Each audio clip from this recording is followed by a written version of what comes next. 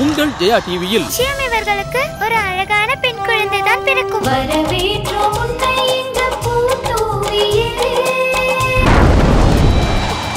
எந்த இடத்தில் உனக்கு சாபம் கிடைத்ததோ? உன்னை அழிக்கப் போகின்ற சக்தி வடிவமான கண்ணியும் அதே இடத்தில் தான் பிறக்கப் போகிறாள். வசந்தன்கோ வழங்கும் ஸ்ரீ துர்கா தேவி நாளை இரவு ஏழு மணிக்கு காண தவறாதீர்.